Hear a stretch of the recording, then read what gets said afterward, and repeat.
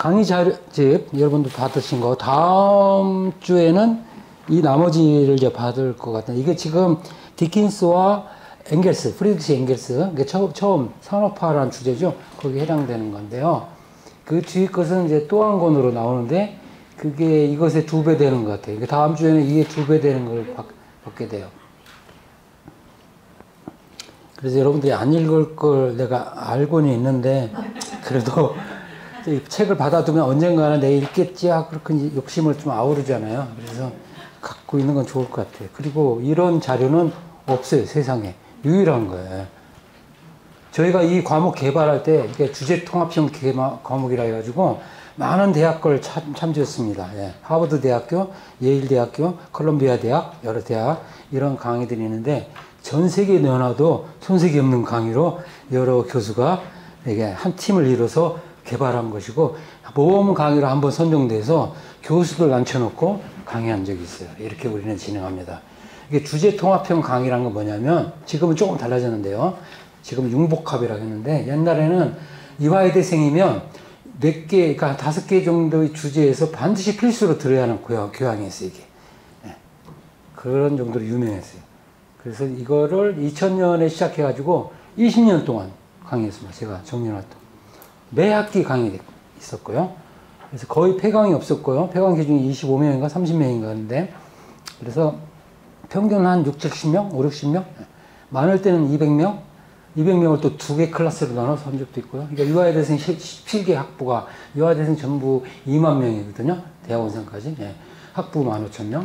그 학생들이 그 입소문으로 막 퍼져나가면서 17개 학과니까 사회, 사회과학대학, 의과대학, 법과대학, 별별 학생들이 다 들어와서 이걸 듣고 있고, 그 중에 한 학생이 벌써 졸업했는데 이 강의가 좋다고 실장님한테 추천해가지고 이 강의가 성립된 거죠. 예. 그럼 저는, 저로서는 이화여대 졸업생한테 수혜를 입은 거죠. 그, 그 사람이 저를 도와준 거죠. 예.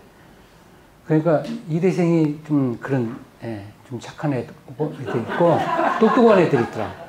제가 어디 가서 이대생 똑똑하다고 말 안 하는데요. 좀 그런 측면이 있어요. 출신이시나? 그래? 웃는 분들 이대 출신이시나? 네.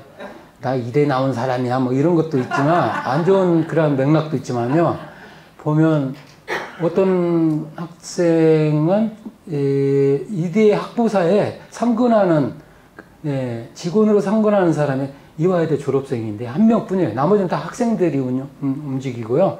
그 주관은 또 교수가 맡고 그래요. 예, 한 사람이더라고요. 근데 그 사람이 나한테 어떤 칼럼을 부탁할 때 이 모던 포스트 모던 모나르키 이 책의 강의 자료집을 20년 넘게 안 버리고 졸업했는데 갖고 있대요. 그러니까 이 강의에 꽂힌 애들이 몇 명 있는 것 같아요. 그 중에 한 사람이 지금 윤 실장의 후배가 강력히 추천해가지고 예, 그래서 이게 성립된 겁니다. 선생님, 근데 용부가 예. 나온 게 이제 졸업생이 나올 정도로 얼마 안 됐어요, 그 역사가. 아니 아니야. 그 오래됐어. 이, 그러니까 이게 처음 만들어질 때부터 주제 통합형 그 교양 과목이었어요. 병원에도 그 수업 있더라고요. 예? 저 병원에도 가지고 종합병원에. 아 융복합? 예, 이게 뭐? 아 융복합은 지금 유행하는 단어예요. 예. AI처럼 AI가 몇 년 전만 해도 무슨 말인지 몰랐잖아요. Artificial Intelligence. 예. 그러니까 인공지능이란 말. 정확히 아, 융복합은 나중에 생긴 말이고, 그래서 주제 통합형이 사라지고 이름을 바꾼 거죠, 이걸로. 예, 가- 과목은 계속되고. 어원이 있을 거 아니에요. 자, 융, 융합하다와 복, 예, 복합하다를 합친 말이에요. 근데 융복합이라는 말을 저는 이 강의 내용에서 썼는지 모르지만 통섭이라고 썼어요, 통섭. 예. 통섭이라는 개념은 그 에드워드 윌슨이라는 그, 그 진화생물학자인가? 저기 최재천 교수 들어보셨어요? 최재천의 그 최재천이 번역을 했어요. 예, 통섭. 그, 그 통섭이란 말이 바로 융복합이에요. 그 통섭을 근데 미묘하게도 좌파들이 쓰고요. 융복합은 우파들이 쓰는 말이에요. 그리고 지금 융복합은 이미 그러니까 그건 무슨 뜻이냐면요.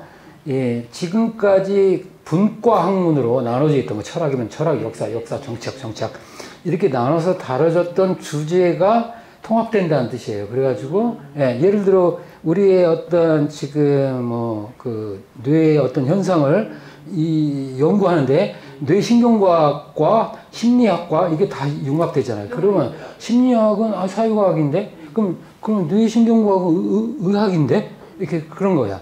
뭐 아니면 전자공학과 의학이 막 그 결합해가지고 어떤 기기를 다루는데 이건 전자공학이기도 하고, 예? 그렇죠? 그 다음에 이제 의학이기도 하고, 아니면 법의학도 있잖아요. 법의학 등가 법학과 의학이 막 만나고 이 그런 걸 떠올리시면 돼요. 그래서 학문 분야끼리 결합하는 걸 학제적이라고 해요. 학제, 인터디스플리너리. 근데 융복합 내지는 통속은 뭐냐면 지식 단위로 이제 그 통합 현상이 일어나는 거야. 예. 어떤 사회적 현상이 딱 있을 때 그거를 하나만 한 분과 학문에서만 다룰 수 없고 다른 한 분과 학문에서도 그게 겹치는 거야. 예. 그래가지고 융합되고 통합되는 그런 현상이 확산되고 있는데요. 이 현상은 기술과 과학의 발달로 생겨난 거예요. 예. 그래서- 무너지고 예, 장르가 무너지고 경계가 무너지는 거예요. 예. 그러니까 분과 학문들의 경계들이 칸막이가 없어지는 거예요. 뭐 무너지는 거죠.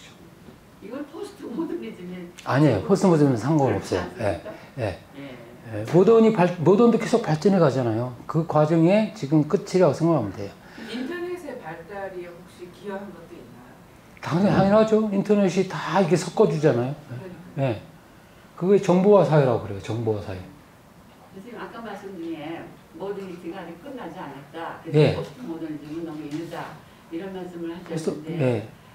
그러면 이게 그 시간적으로 그 보편성으로 볼 때 뭐 옛날에는 한 세대랑 30년 그랬는데 예. 지금 뭐 그런 거 뭐가 있습니까?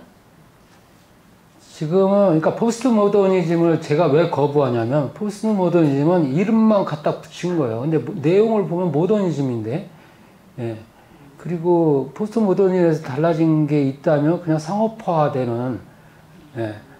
그런 경향이 있어요. 그러니까 옛날에 엘, 엘리트주의였잖아. 모더니즘은 엘리트주의예요. 예.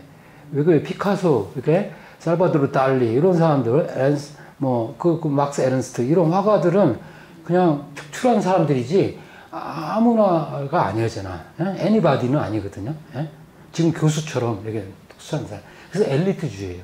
근데 그 엘리트들이 다뤘던 모더니즘 예술이 이제 민중 전체로 퍼져나간다. 대중 전체로 확산되어 나간다. 이렇게 돼요. 그게 포스트 모더니즘이에요. 그, 그, 그 다음에 예술, 그러니까 예술의 영역을 넘쳐나서 이제 문화로 이제 확산되고, 그 다음에 그 엘리트에서 벗어나서 대중으로 확산되는.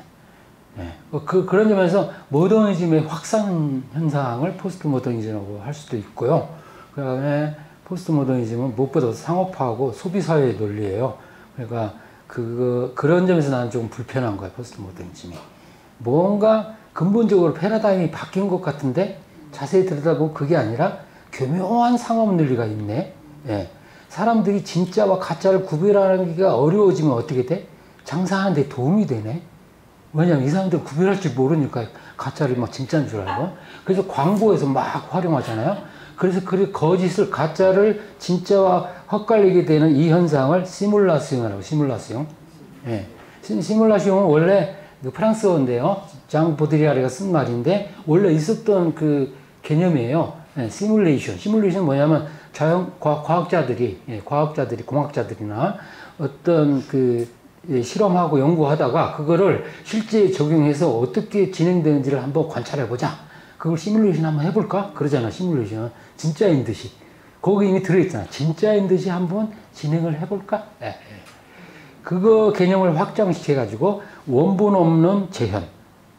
예, 미키마우스가 원본이 있습니까? 그게 쥐라고 알고 있지만 쥐에서 만들어진 건 아니야. 쥐로 동, 쥐에서 많이 진화해가지고 지가 예, 미키마우스가 막그 예, 세계를 그 비행을 하고 막 우주를 날아다니고 막 그러잖아요. 근데 진짜 쥐가 그렇습니까? 아니잖아. 그러니까 쥐, 쥐의 모양을 하고 있지만 쥐하고는 아무 상관이 없잖아. 이런 식으로 그런 원본이 없는 오리지널이 없는 그러한 자체적으로 독립해가지고 막 지금 AI 시대에 가면 그게 더 확산되죠. 그리고 내가 요새 페이크 뉴스를 조금 생각하는데 그것도 그런 거야. 뉴스와 뉴스 아닌 것의 구별이 막 사라지고 광고와 뉴스가 사라지고 구별이 사라지고 여러분들 TV 보다가 좀 불편한 때가 있잖아요. 이게 광고야? 아니면 내가 지금 드라마를 보고 있나? 아니면 광고를 보고 있나? 한참 막 따라가다 보니까 아 이거 광고네. 예. 그렇잖아요. 그런 식으로 교묘하게 사람들이 지금 심리를 막 파고들고 그래서 이렇게 진짜와 가짜, 실제와 허구, 픽션의 경계가 무너지는 것을 활용하는 것은 상업주의죠. 예. 그게 자본주의적 예, 산업화 과정에서 이제 나타나는 그래서 이미지와 기호가 넘쳐나는 사회에서는 시뮬라스용의 과정을 혹은 지옥이라고 했어요. 그 지옥을 반드시 겪는다. 예. 제가 한때 그 포스트 모더니즘이라는 게 무엇인지에 대해서 엄청 많이 여러 가지 들었는데 그거에 대한 나중에 그 발표했던 분들의 그걸 겪으면서 겪는 그 이후의 얘기는 참 뭐 이렇게 뭐 그게 잘못됐었다 뭐 이런 얘기를 하는 분들도 있고 근데 지금 포스트 모더니즘이 이렇게 자본주의하고 위주의 사회로 다 가는데 예.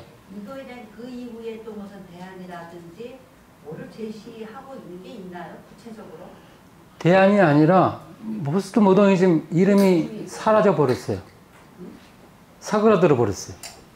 그래서 여러분들은 지금 쓰고 있지만 사실은 조금 그 뭐랄까 뒤늦게 지금 그 메아리 에코로 지금 포스트 모더니즘 이야기하는데 사실 포스트 모더니즘 이야기하면 그냥 사람들이 씩 웃고 말아요. 아 옛날 한 한때 소비 사회에 막 한참 아, 씨, 막 그게 1990년대 근데 누구도 정확히 그게 뭔지 모르고 그냥 잘 모르기 때문에 웃고 넘어가는 거 아니에요?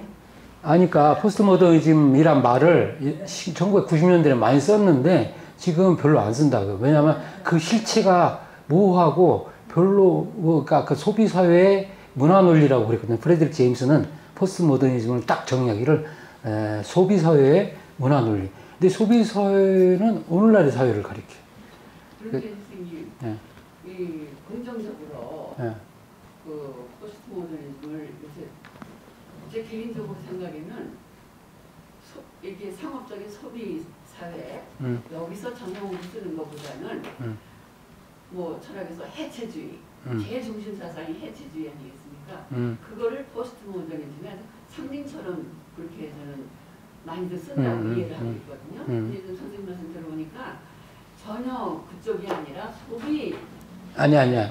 그 부분까지 이야기를 다 못 했어요. 벌써 지금 포스트 모더니즘 질문이 많이 나오는 바람에 조금 내가 교통 정리를 하면서 우리 저기로 들어갈게요. 포스트 모더니즘의 긍정적인 측면이 나타나는 부분들이 있어요. 예를 들어 건축.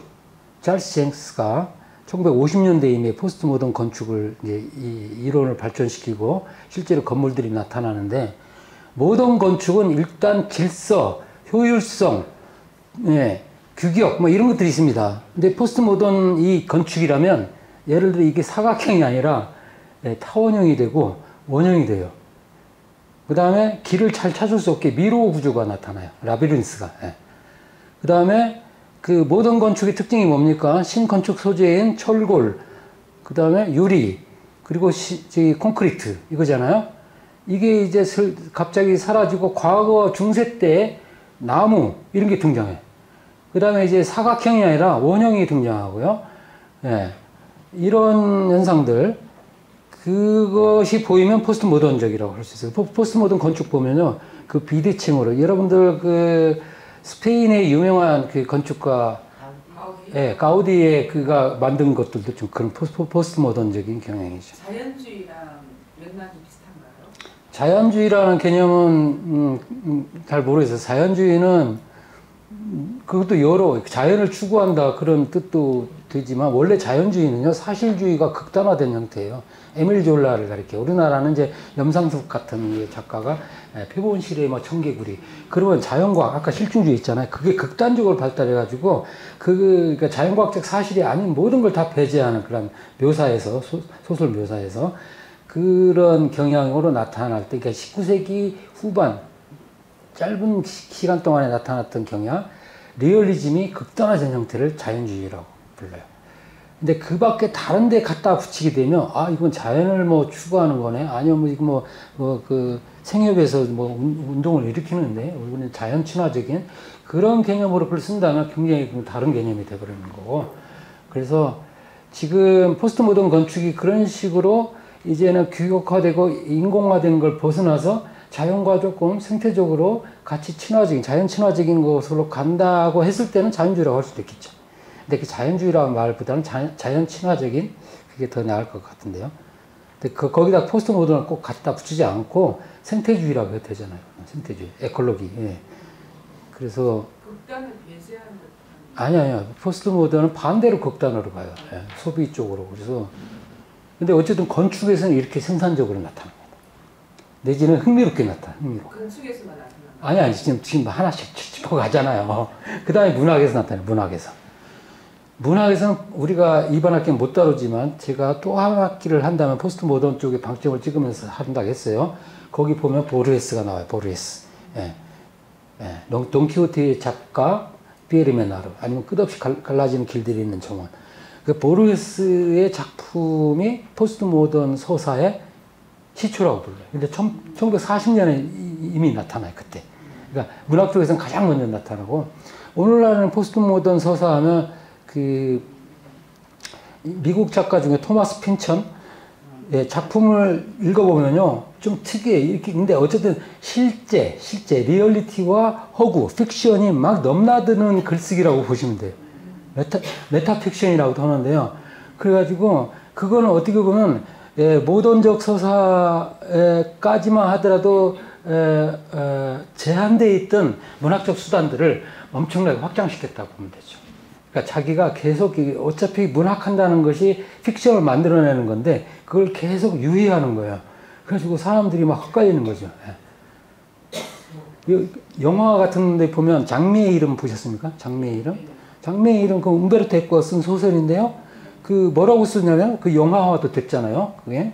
근데 그 어떤 전해 내려온 글이 있었는데 그 글의 원본은 사라지고 그걸 이제 뭐 이탈리아 말로 번역한 거. 근데 그것조차도 사라지고 작가가 저 뭐야 그 원본이 그걸 필사했던 어떤 것이 뭐 어떻게 되고 해서 막 그게 막 퍼져나가잖아요 이런 식으로. 그래서 원본은 사라졌어요. 원본은 사라지고 그러면서 미스테리하고 굉장히 탐정 소설적인 그런 구조를 갖고 있는데 그게 포스트 모던 서사의 대표였대요. 장미 이름 같은 게. 그래가지고 딱 들여다보면 이제는 원본에 대한 그러한 그 미련 그것이 남아 있는데 그걸 버리라는 뜻이에요. 예. 그게 중요하지 않고 지금 네가 지금 만들어내는 것 예. 그게 중요하다.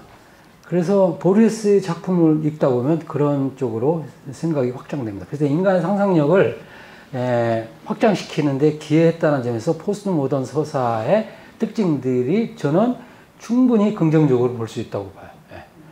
그래서 건축, 영화 이런 데서는 긍정적인 요소들이 나타납니다. 선생님 예. 그러면 초현실주의나 뭐 다다이즘 같은 것도 음. 우리가 모던으로 분류를 하는데 그게 포스트 모던적인 성질도 그렇게 볼 수도 있죠. 포스트 모던의 선조였다. 원래 그쪽에서 나타났다. 내지는 그럼 포스트 모던과 초현실주의는 경계가 애매하네? 그러면 나눌 필요가 없- 없죠. 포스트 모던이라고 딱 당신이 규정 정의하는 게 뭐야? 이렇게 이제. 그래서 애매모호한 말이 되는 거죠. 그러니까 그런 의미에서는 포스트 모던적인 많은 것들이 이미 모던에서 실험이 됐다. 근데 포스트 모던은 자기들이 발명한 것처럼 뻐기고 있다. 웃기고 있네. 보- 모던에서 다 실험했습니다. 초현실주의 보세요. 예. 살바도르 달리의 그림을 보세요. 시계가 무슨 엿가락처럼 쭉 늘어져 있고요. 그건 뭡니까? 꿈속에 나타나는 장면이네. 카프카의 소설 보세요. 이게 꿈인지 현실인지 묘사가 헛갈립니다. 그 포스트 모던 아닙니까? 맞습니다. 근데 그때는 파- 포스트 모던의 말을 굳이 안 쓰고 fantastic, 환상이라고 말했습니다. 환상 문학, 환상 소설. 그럼 fantastic으로 거슬러 올라가면 이제 근세, 중세로까지 올라갈 수 있죠. 왜냐 그때 이미 그런 것들이 나타났거든. 그렇죠? 찾아보면. 예. 돈키호테 보면 어떻게 보면 환상 소설이 할 수 있죠. 현실이 없는 일을 막 지어내가지고 막 그래서 이게 왜 이게 개념을 가지고 만드는 누가 언젠가 첫 시간에 질문하신 것 같아. 이 시대 구분이 중요하지 않고 또 긴 시간 마- 나면 이것도 하나로 뭉, 뭉치거나 아니면 전체가 인류세로 물리, 뭉칠 수도 있잖아요. 인류세라는 말 들어봤어요? 인류세? 인간이 살 지배했던 이 시대가. 그렇게 뭉쳐버리고 우리가 이게 중세다 고대다 무슨 뭐 어? 근세다 근대다 이렇게 그다음에 탈근대다 이렇게 예, 이야기하는 것 자체는 상당히 별로 의미가 없는 것 같아요. 맞습니다. 저, 저, 그래서 제, 저한테 묻는다면 이 시대 구분이 중요한 게 아니라 사람의 삶이 중요하다. 어떻게 살았느냐. 뭘, 예, 어, 예, 뭘 추구했느냐. 뭐. 그런 게 중요해요. 그러면 사람의 삶의 모습을 보면 시대 구분을 이제 따지면 굉장히 고대나 중세 때는 굉장히 뭐랄까 구닥다리 삶을 살았던 것 같아. 그렇죠? 예, 우리가 더 뭐랄까 세련되고, 예. 아까 뉴라는 뭐, 그 모든 시대가 자기 시대를 모던하다고 느꼈다 했잖아요. 그런 것처럼 자기 시대를 우월하게 보는 그런 시각이 예, 지배하니까. 그래서 근데 사실은 자세히 들여다보면 그렇지 않거든요. 옛날 사람들도 진지하게 살았고 재밌게 살았고 아주 그 판타스틱하게 살았어요. 예. 근데 우리만 그걸 누리고 있는 것이냐 생각하는 것은 역사를 나중에 산 사람들의 뭐랄까 허 허세죠. 허세. 자기들의 자기들이 좀 더 많이 알고 자기들이 좀 더 우월하고 문- 진보했고 문명화됐다고 착각하는 데서 오는 그러한 그 뭐랄까 환상입니다. 환상. 그러니까 옛날 사람들 삶을 개인적 삶을 깊이 여러분들이 들여다볼 수 있다면 어쩌면 그렇게 우리하고 똑같네 비슷하네 어, 어 페이크 뉴스? 이미 그 이집트 고대 이집트에 있었네. 거기 더 영악한 놈들이 있었네 네. 예, 날고 기는 놈들. 그렇잖아요. 그거 그 들여다보면 실제 그러니까 그런 문학 작품이 아니라 실제 역사를 들여다봐도 예, 파피루스에서 막 지- 증명이 되잖아요. 그래서 아주 막그 우리가 지금 많이 진화한 것 같지만 옛날에 더 똑똑했다 이거죠. 옛날에 훨씬 그 똑똑할 수도 있고 많이 비슷하다. 그러니까 대부분의 삶이 비슷했다 이렇게 생각하는 게 좋아요. 근데 인간이 완전히 아까 말했듯이 자기 시대가 새롭다고 느끼고 싶어 하는 거야.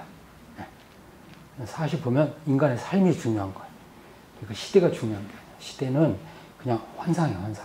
그래서 네가 좀 나중 시대, 포스트 모던 시대에 살았으니까 너는 좀 굉장히 세련됐다. 너 어? 그런 거짓 우월감을 주는 거야.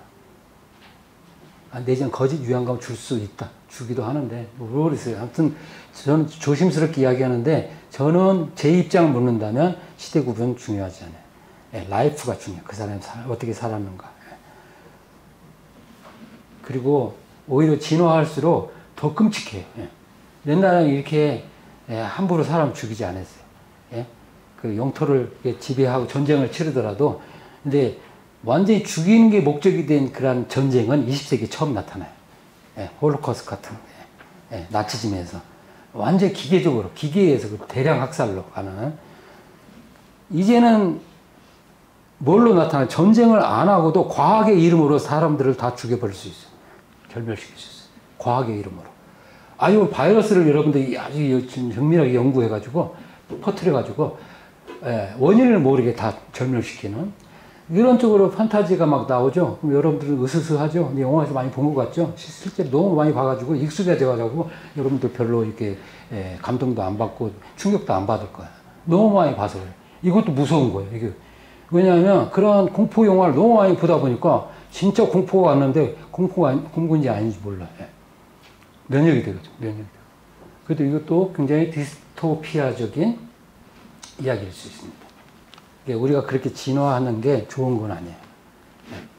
그래서 단순하게 생각하고 인간적으로 생각하고 따뜻한 거 이런 게 중요합니다. 그런 대화 이런 것들. 근데 너무 이렇게 포스트 모던 이것도 이제 제가 강의하면서 좀 모순인데요. 어쨌든 포스트 모던 대단한 거 아닙니다. 예. 포스트다 붙여가지고 좀 그 뻐기고 있다. 예. 그렇게 생각하시면 돼요. 포스트가 중요한 게 아니고. 근데 모던은 중요해요. 모던은 왜 중요하냐? 그거 생각해보세요. 모던이 왜 중요한지. 근데 모던조차도 완전히 그, 그 전통이랑 다를 게 없잖아. 이렇게 말하면 안 돼요. 자, 왜 그러냐. 일단은 암시를 하자면 모던은 인간의 모든 사- 외적, 그러니까 외형적인 조건뿐만 아니라 그 환경뿐만 아니라 인간의 내부까지도 완전히 뒤집어 놨어요. 예. 그러니까 만일 이, 모던 이전에 살았던 사람을 여기다 데려다 놓으면 되게 한 10분 안에 시- 심장마비로 죽을 거예요. 왜냐하면 너무 그 공포와 자극이 막 심해가지고요. 견, 견디지르면서. 예. 그 정도로 우리는 진화를 했는데 어, 그렇게 심대한 변화를 일으킨 그 사건이 19세기에 일어났다는 거죠. 19세기에 지어진 건축물이 19세기 이전까지 인류 역사 통틀어서 지어진 석조 건물보다 훨씬 더 많았어요, 양이. 왜냐하면 엄청나게 발달했기 때문에 막 짓고, 예, 사람들 인구도 엄청나게 지금 늘어났잖아요. 폭발했잖아요. 그러니까 19세기에 일어난 인류사, 인류 역사에서 19세기에 일어난 변화는 그 이전에 비교도 할 수 없을 정도로 획기적이기 때문에 모더니티란 말을 쓰는 겁니다. 그렇기 때문에 함부로 전통과 섞어서는 안 돼요. 근데 모던과 포스트 모더니티의 경계는 없어도 돼요. 내가. 근데 포스트 모더니티의 장점 이야기하다가 이렇게 됐다. 그래서 문학에서의 포스트 모더니티 건축, 그 다음에 그 밖에 이제 미술 뭐 이렇게 예술 쪽으로 가면 좀 생산적인데 전반적으로 포스트 모더니티 하면 가짜와 진짜가 섞이는 이게 가장 큰 현상이야. 근데 그게 상업화하고 관계가 돼요. 상업화. 네. 그, 그 광고가 그렇잖아요. 레클람에. 광고는 그걸 헛갈릴수록 좋거든요. 상품 판매에 이득이 되기 때문에. 그래서 사람들은 계속 거기에 현혹돼요. 끊임없이.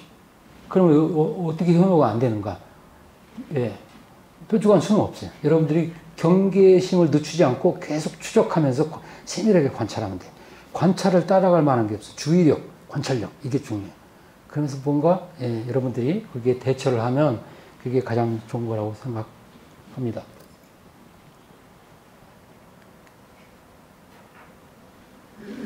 자, 이건 산업화 이야기이기 때문에 다 아시는 이야기입니다. 네. 자본주의가 나타나면서 이제 사회주의가 동시에 태동하죠. 왜 사회주의가 태동해? 왜? 인간이 대다수의 인간이 대다 소수의 인간이 아니라 특별한 인- 몇, 몇 명이 아니라 대다수 인간이 빈곤으로 추락하는 건 정말 문제잖아요. 네. 그걸 그린 게 앵겔스의 영국 노동자 계급의 상황입니다. 그래서 중요한 거예요. 부르주아가 한두 명 살때 예, 프롤레타리아들은 수십 명이 살아요. 근데 그 사람들이 완전히 그러한 그 비인간적인 상황, 의식주의 그런 생활 환경에 예, 처박혀 있고 언제 죽을지 모르고 병으로 가난으로 이게 뭐 풍요의 시대라는 19세기에 일어나고 버젓이 일어나는 그런 현상이기 때문에 이거는 타개해야겠다. 문제가 있다. 그래서 앵겔스는 영국의 설, 선, 전철을 밟으면 안 되겠다. 예. 후발 산업국으로서 독일이 영국의 사례를 따라가면 안 되겠다는 경고의 의미에서 쓴 책이 영국 노동자 계급의 상태입니다. 그걸 두 번째로 다루는데 첫 번째 어려운 시절에 등장하는 스티븐 블랙풀이라는 사람이 있어요. 여러분들 계속 이런 말이 나오면 야, 치- 소설을 안 읽었으면 무슨 말인지 모르잖아요. 제발 빨려 들어갈 것 같이 소설 읽다 보면 좀 낯설기도 해. 옛날 소설이라서. 근데 너무 평이하게 썼거든요. 네, 그게 이제 19세기 풍경이에요. 그래서 그러면 이제 그 이야기가 계속 제가 지금 언급할 것 때문에 읽- 읽어 두셔야 돼. 그러면 편해요. 한 학기 내내. 예. 그래서 사회주의가 나타나는 거예요. 사회주의가. 괜히 나타나는 게 아니라 대다수의 인간이 억압, 빈곤, 예, 이런 고통 속에서 살아간다면 그거는 뭔가 잘못된 것이기 때문에 그거를 바꿔야 한다라는 통찰이 있다면 예, 사회주의가 등장할 수밖에 없어요. 그러니까 넓은 의미의 사회주의입니다. 예. 사회주의 반대말이 뭘까? 자유주의. 자유주의? 오케이. 자유시장 경제라고 하죠. 예. 요즘 누가 자유라는 말을 많이 하던데. 자유는 예, 돈의 자유입니다. 가진 자의 자유. 예, 자유주의이기도 하고 사회주의 반대는 사회와 개인이 있잖아요. 대- 그러니까 개인은 사회를 이루는, 이루는 구성원이면서 또 사회하고 이제 조금 이렇게 변별되잖아요. 그래서 개인주의라고 볼 수도 있죠. 그럼 사회주의는 집단주의냐? 음, 맞죠. 맞는 말이죠. 예, 사회라는 집단, 공동체 이걸 중요하게 생각한다는 거죠. 그러니까 개인의 운명이 맡기지 않고 개인들이 모여 사는 이 커뮤니티, 공동체가 불행하다면 그 그거는 고쳐야 하잖아요. 예. 그래서 오늘날 경제학자들도 바로 이렇게 공동체를 생각하는 사람들은 사회적 불평등이나 이런 문제에 아주 에, 그 연구를 많이 하고 그걸 타개하려고 노력합니다. 나는 떠오르는 인물이 중앙대학교 나랑 나이가 비슷한데요. 정년한 지 얼마 안 됐고요. 신광영 선생님, 신광 신광영 그분은 이 불평등 연구의 우리나라 대가예요. 예. 예, 신광영 그 유튜브에도 많이 떠 있어요. 그 사람은 강의도 한번 보세요. 그러면 그 사람은 통계 수치로 짜- 정확하게 말해줘요. 우리가 예, 코로나 시국을 지나면서 빈곤화가 어떻게 더 심화되는지 이런 걸 그냥 예, 잘 가르쳐요. 예, 사회과학, 사회학과 예, 교수였어요. 그 사람 말고도 이제 있는데 신광현 선생님이 많이 좀 떠오르네. 예. 그런 연구를 해야 합니다. 미국에서는 아마티아, 아르마티아 센이라는 사람이 있어요. 센, 센. 그냥. 인도 출신의 경제학자인데 하버드 대학 교수고요. 예, 아마티아 센의 불평등 관련 책들 많이 번역돼 있어요. 우리나라. 네, 그 사람, 그런 사람을 추천합니다.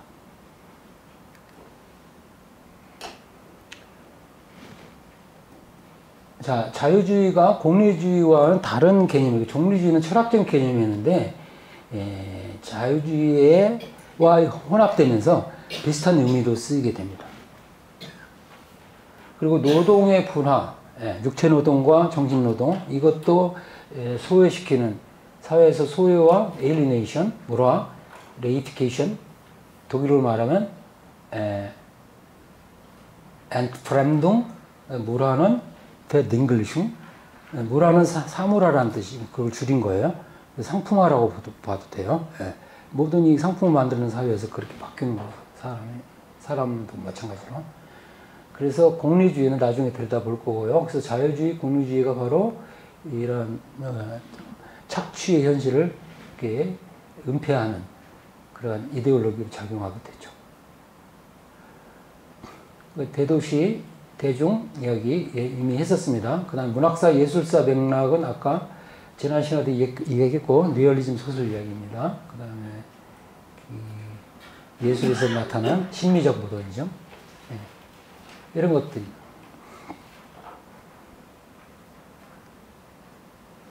그 현대적 삶이란 무엇인가 떠오르면 이거 지난 시간에 잠깐 봤었죠. 이런 이런 게 바로 이 석탄 광부들 광산에 예, 우리나라도 마찬가지일 텐데 저런 게 바로 산업화의 특징 중에 하나죠.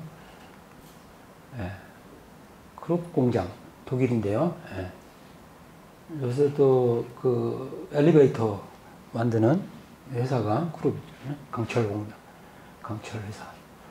그다음에 이거 그 기- 빈곤을 견디다 못해 이제 미국으로 가는 아일랜드인데 그런 거고요. 예, 이거 베를린의 한 예, 빈, 빈민굴이죠, 빈민굴. 자, 이런 거는 예, 유럽 전체에도 있었고요, 미국에도 있었고. 예, 이게 이제 런던의 실제 모습이에요. 그 빈민굴의 모습입니다.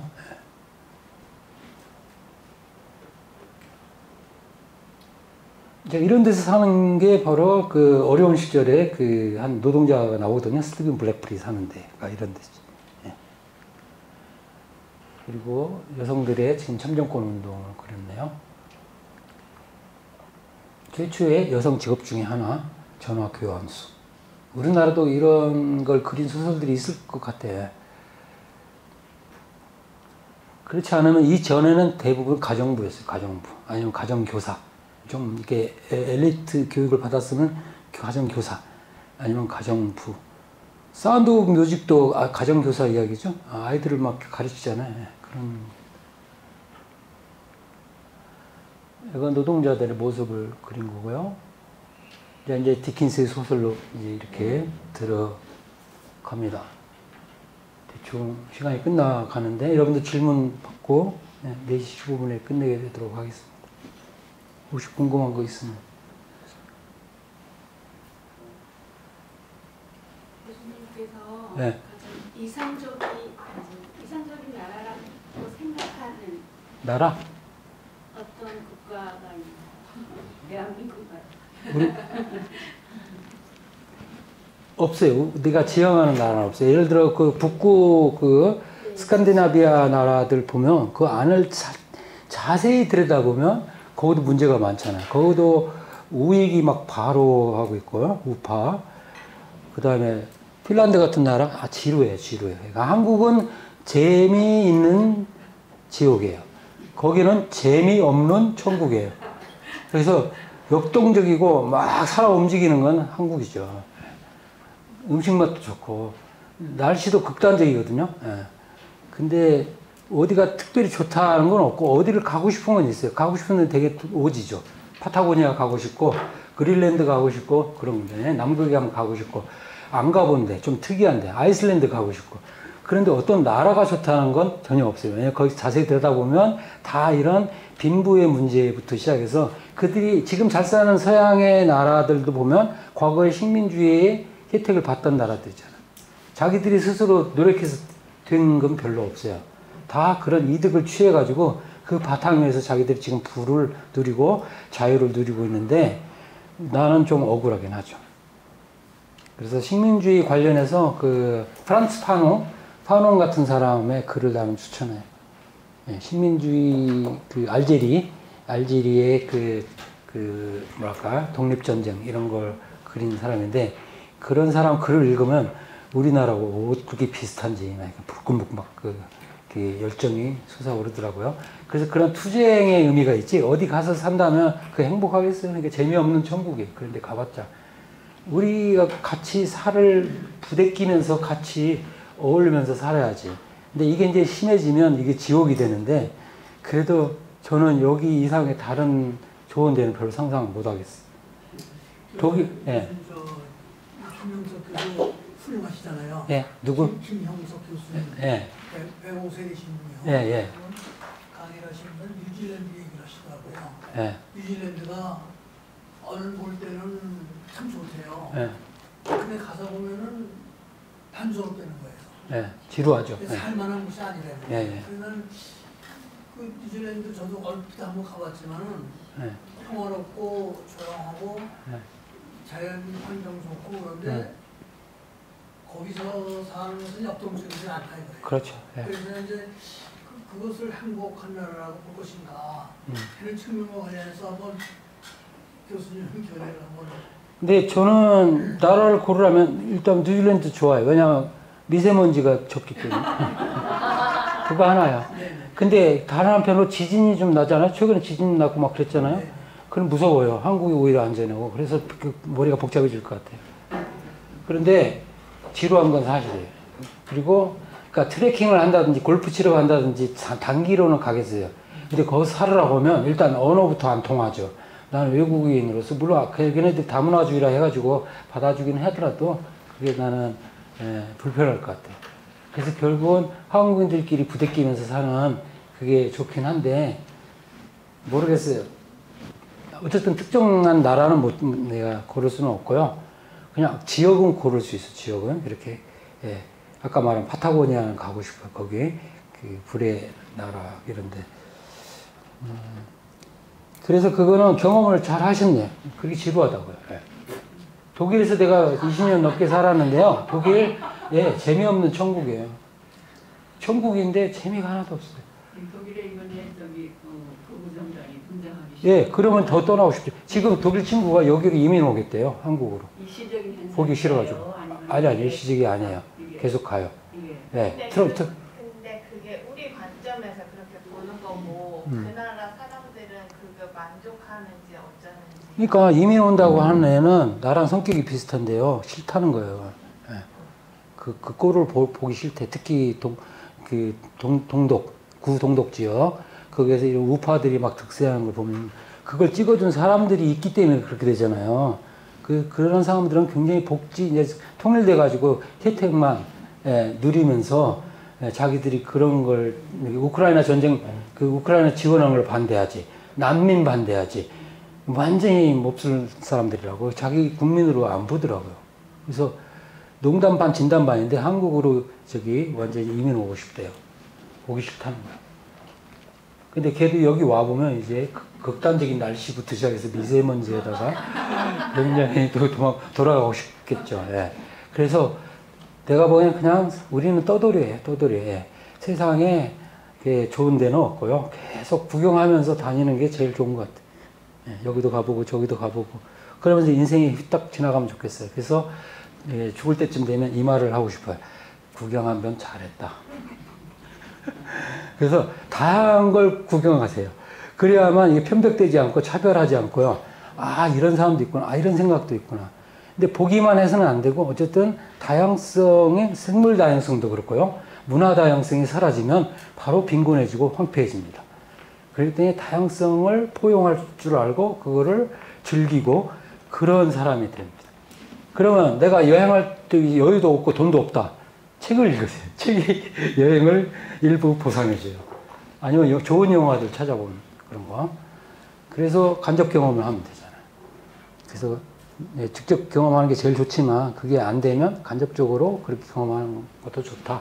그리고 여러분들 이 듣는 강의도 일종의 예, 한편의 영화라고 할 수 있어요. 한편의 경험이에요. 예, 어디서 이런 그런 그 강의를 듣겠어요? 저 같은 강의는 아, 없어요. 유일합니다. 예. 그래서 제가 컨셉이 지금 뚜렷한 거예요.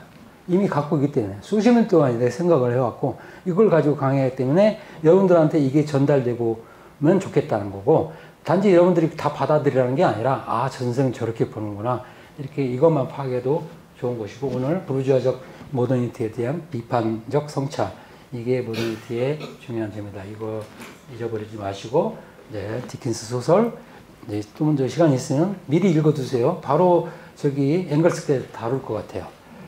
근데 거기 뭐- 중에 이번 학기 다룬 모티프들이 다 나오거든요. 때문에 안 읽으면 계속 헤매요. 근데 조금만 시간 내서 읽- 읽으시면 하루면 다 읽으실 겁니다. 반나절이면. 그럼 오늘 시간 다 돼서 여기서 마치겠습니다. 수고 많으셨고요. 다음 시간에 뵙겠습니다. 네.